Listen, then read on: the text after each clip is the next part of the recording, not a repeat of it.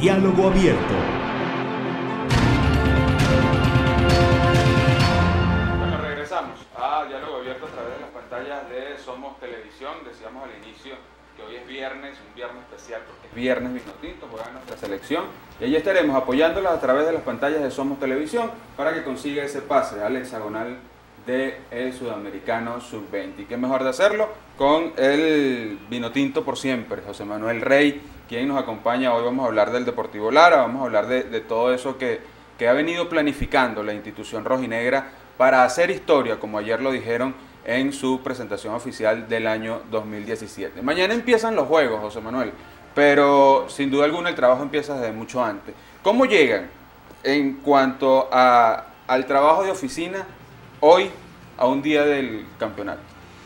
Sí, bueno, eh, llegamos con, con ansias de que empiece porque, como tú bien dices, eh, desde el año pasado estamos planificando lo que es la pretemporada, lo que fueron las, las incorporaciones, eh, el ponerlo a tono para, para empezar con el mejor buen pie el día de mañana. Eh, pienso que tenemos un equipo competitivo, esa es la palabra que a mí me gusta utilizar porque somos un equipo hoy en día que podemos hacerle frente a, a cualquier equipo y podemos sacar el resultado positivo. Digo podemos porque el fútbol a veces Sí, El que no juega mejor no te gana. garantiza Pero de que vamos a dar la lucha, de, de entregarnos por completo, tanto en directiva como cuerpo técnico, jugadores, en, en poder conseguir un, un título este año, eso es lo que queremos lograr. Hablas de contrataciones, José Manuel, y tienen el equipo que querían desde el inicio planificar con el cuerpo técnico. Sí, cuando Leo empezó a planificar, veíamos algo lejano, ¿no?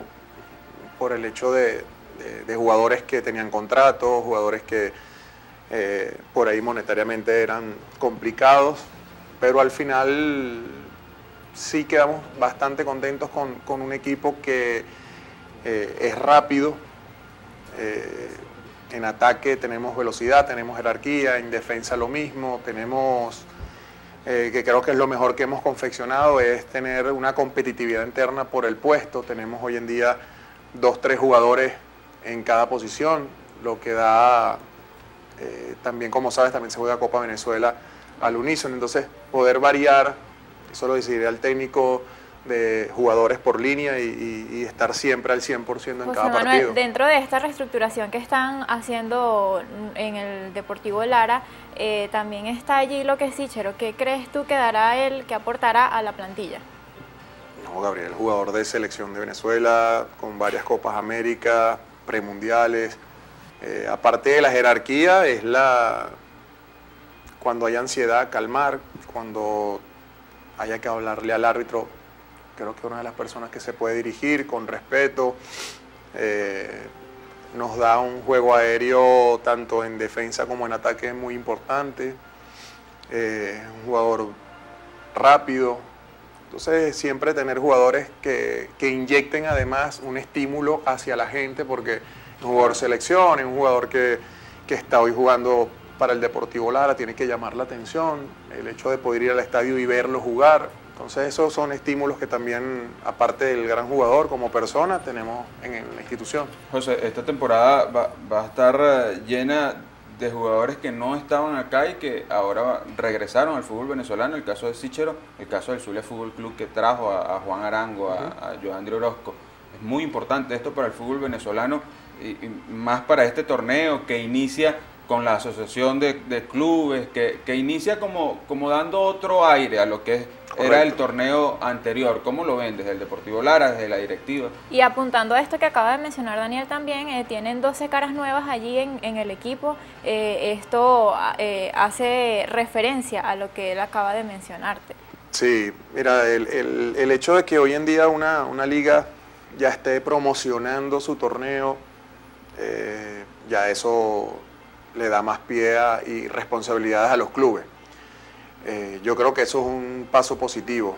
Eh, después el tema de los fichajes, eh, como lo hablo yo aquí de, de Gabriel, pues lo podrá decir el Zulia de Juan. La gente Sí, por supuesto, por va a querer ir a ver a ver a Juan, a Joan, Claro, el caso de. César Maestrico que vuelve también. Así es. Eh, son casos que Que más allá de ayudar Motivan y, y de a la ayudar a un equipo, te va a ayudar por completo al fútbol venezolano. Sí, claro, eso eh, creo que para la tribuna, yo de José Manuel Rey, si fuera un aficionado, viene eh, Juan a jugar a- al estadio, a mí me gustaría ir a verlo. Por supuesto, esto le trae a ustedes como que mayor afluencia y, y mayor fanaticada por, por estar él allí, Claro. como lo acabas de mencionar. Claro, eso, es- eso es lo que queremos rescatar. Eh, Falcón también vuelve con, con Zamora, Con Zamora, entonces sí.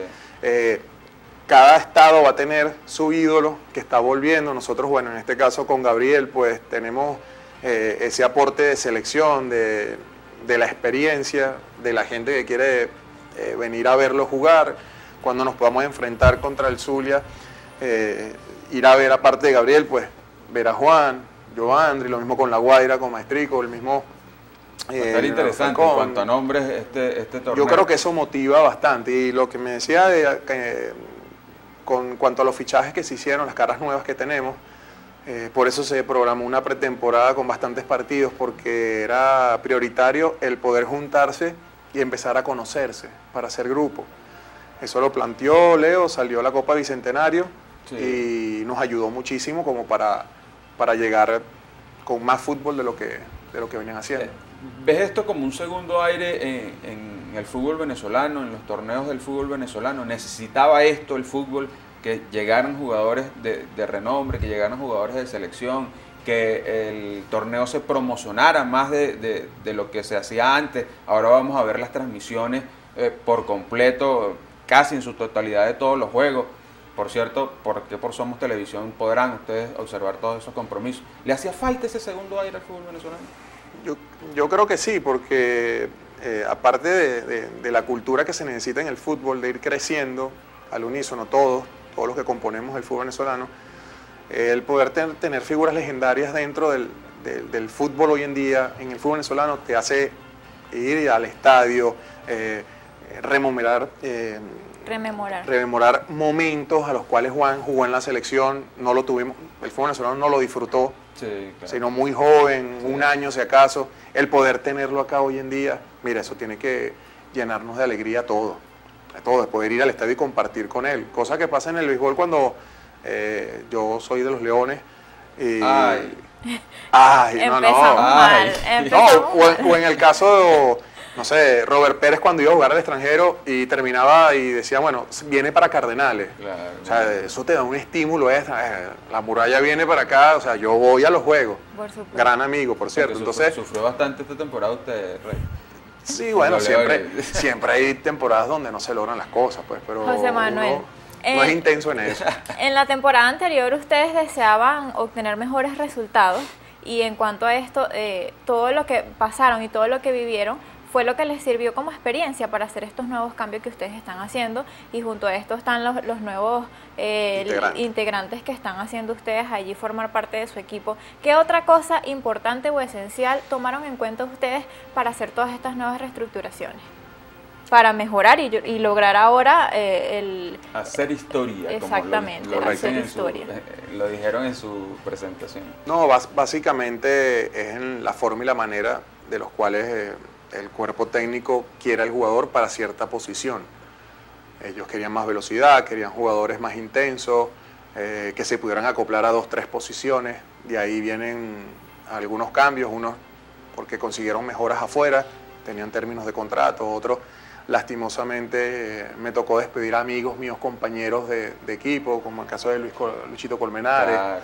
eh, gran persona, gran jugador, pero Leo está buscando otras características para, para esas posiciones. Anzuate. Correcto.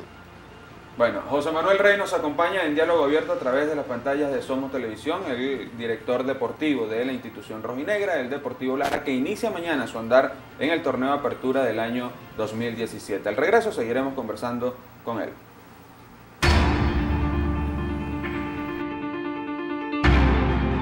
Diálogo abierto.